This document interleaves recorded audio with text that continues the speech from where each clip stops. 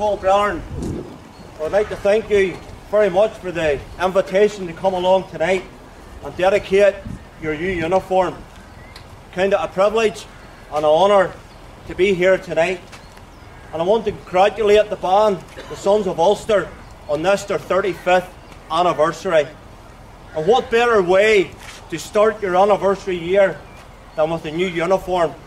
And I have to say that the uniform is looking very well tonight. But as I thought about tonight, I decided to look at what God's Word would say on the colours that you wear. The first colour tonight is grey. And my first thought was that I'm sure your bandmaster, Toasty, has a lot more grey hairs in his head worrying about these uniforms being ready. But the grey in God's Word, it stands for wisdom. Proverbs chapter 9 and verse 10 in God's Word says, The fear of the Lord is the beginning of wisdom. Can I ask you tonight, do you fear God, the Creator of all mankind, the one who has given you breath in your body tonight, the one who has given you health and strength to, to be able to parade even tonight? The colour grey in the scriptures also represents honour and dignity. And as you as a, a band parade the streets of Ulster, each time you do so, do so with honour and with dignity, not doing anything to discredit the uniform that you wear. The colour blue, it symbolises service or loyalty or godly living. You and I can say tonight that you're loyal to your band or you're loyal to your country. But the greatest thing that any of us can be tonight is loyal to Almighty God. How can we be loyal to God? The colour white that you bear in your uniform, it represents eternal life. Each one of us tonight were born in sin. But the Bible tells us in the book of Isaiah, chapter 1, verse 18 Come now, and let us reason together, saith the Lord. Though your sins be as scarlet, they shall be as white as snow. Though they be like crimson, they shall be as wool. I would urge you tonight, brethren, that you would think God. Because one day each one of us will stand before God and He will be our judge. And tonight, it is a great privilege to be in a country where each one of us are able to have the open Word of God before us. There are many countries that don't have that privilege. And I urge you tonight just to think on these few thoughts. Let's bow our heads in a word of prayer. Heavenly Father, we come before you tonight and we'll thank you, dear God, for even the opportunity to stand here tonight. Lord, we thank you, Lord, for the 35 years that the band has been on the road. And Lord, there has been many changes in those 35 years. But Lord, we thank you that you have never changed. For you are the same yesterday, today, and forever. Heavenly Father, we remember past members, members of the band who are no longer here, members of the band, Lord, that have sadly passed away. We remember their families tonight. And oh Lord, perhaps even as they watch the parade, they would be thinking of those loved ones who are no longer with us. Now, Lord, we come before you. We thank you for the band of purchasing these new uniforms. Lord, we pray you will bless them as they wear them. May they wear them with pride. May they wear, them with honour. May they wear them with dignity each time they parade the streets of our country, Lord. Lord, be with them. Give them a good night, dear Lord, as, as they parade Randalstown and as all our bands parade as well. Lord, be with us now, for we ask it in your precious name. Amen. Those of Ulster, hats on! Round of applause to Gary for the dedication of the uniform.